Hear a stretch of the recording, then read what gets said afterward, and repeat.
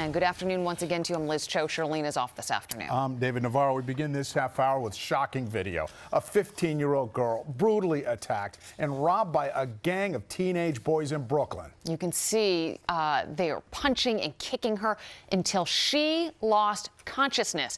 The gang of boys even stole the shoes off of her feet and her debit card. Eyewitness News reporter Jim Dolan is live in Crown Heights with the very latest on the search for the suspects. Jim.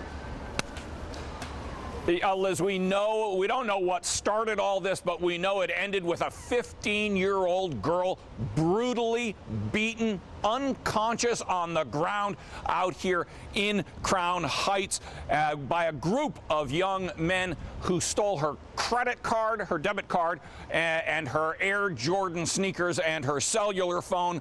This all happened yesterday. You see, first one teen pushes that 15 year old girl to the ground, and more than a dozen others start kicking and punching her so brutally she was unconscious. And as the boys run away, one among them. Remember, that girl is unconscious on the ground. One boy pulls her Air Jordan sneakers off her feet and he walks away with them. We've slowed it down so you can see his face. Police want to find him and obviously everyone involved in this brutal assault yesterday here in Brooklyn. The NYPD uh, sent out on social media today saying this is sickening video of a 15-year-old viciously attacked by a group of school children.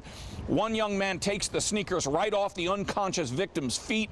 We can't allow this behavior in our community, that social media post says. Again, police looking for anyone connected with that assault. The video is quite clear. You can make out a number of faces. Uh, the 15 year old girl remains hospitalized.